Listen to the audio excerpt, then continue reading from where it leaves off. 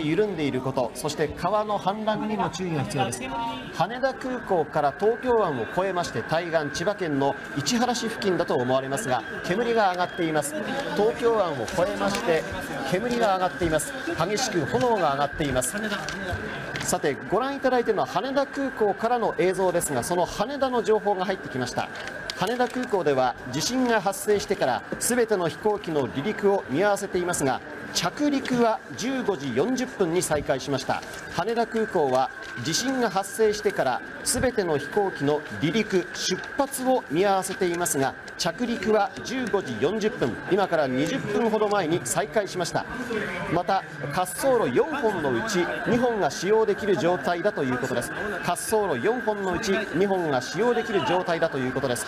まもなく菅総理の会見も行われますし気象庁も会見を行うようです。気象庁40分に再開しました。また滑走路4本のうち2本が使用できる状態だということです。現在入っている情報です、えー、羽田空港の情報カメラから対岸の千葉県市原市の石油コンビナートなどが密集している地域の火災を映しています。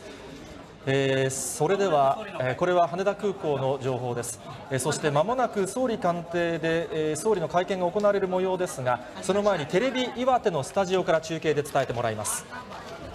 再開しました。また滑走路4本のうち2本が使用できる状態だということです。え千葉県内の情報に戻ります。千葉県内では千葉市や浦安市で水道管から水が水漏れが発生しています。水道局では液状化しているところには車でも近づかないように注意を促しています。液状化しているところには車でも近づかないように注意を促しています。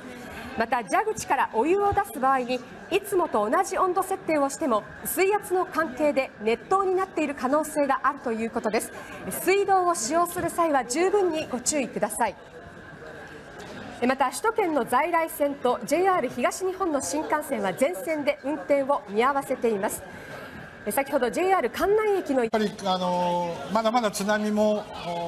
襲ってくる可能性がありますから、はい、絶対に海岸には近寄らない、はい、えー、海岸にのそばにいらっしゃる方は、はい、高台あるいは鉄筋コンクリートの3階以上にいてこの警報が解除されるまではそこから動かないでください。わ、はい、かりました。これは羽田空港の情報カメラから東京湾の対岸にあります、え石油コンビナートなどが密集している工場地帯の火災の、え状況を、え映しております。千葉市の消防局によりますと中央区川崎町にあります JFE ケミカルで火災が発生しているということです、えー、これがその JFE ケミカルの火災かどうかの状況については分かっていませんが大きな炎が上がっています。そして岩手からも情報が入ってきました。岩手県警のまとめによりますと岩手県内で10人の死亡が確認されたということです。岩手県内で10人の方が亡くなっています。この